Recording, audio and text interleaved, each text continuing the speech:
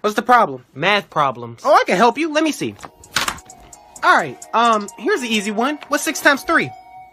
Six times three. I don't know. Six times three. I don't. Six, no. What is it? What is it? Get your mom. Why? Teresa. What's the problem? Homework.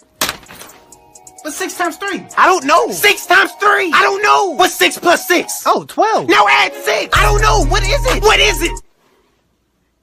Get your math teacher. Who? Mr. Patrick. Boom. What? Homework.